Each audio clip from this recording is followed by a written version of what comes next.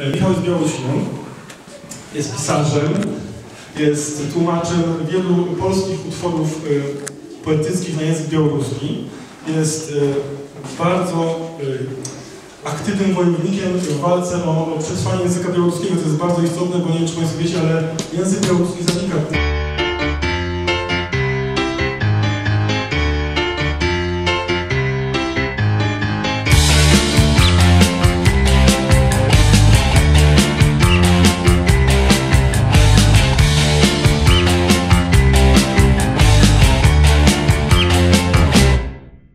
Oni są?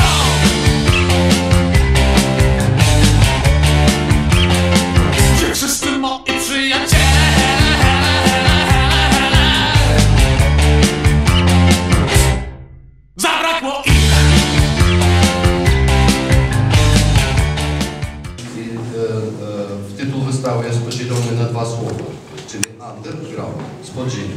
No, dla mnie e, underground to przede wszystkim mm, nazwa ironiczna. o różnych instytucjach Jedyną czynnością, którą wykonał artysta, to jest to, że umył te warzywa.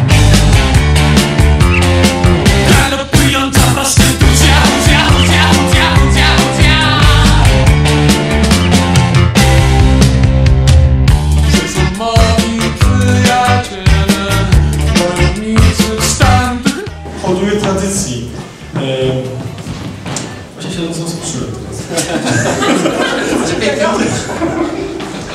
I na koniec jeszcze jedna rzecz, że dla mnie ta wystawa to jest głównie wystawa konceptualna, ponieważ istotny jest tytuł Anny Granczek, Podziemie, co w kontekście tego, że Mikołaj, że Michał jest z Białorusi, e, wstawia tą wystawę w zupełnie innym świecie.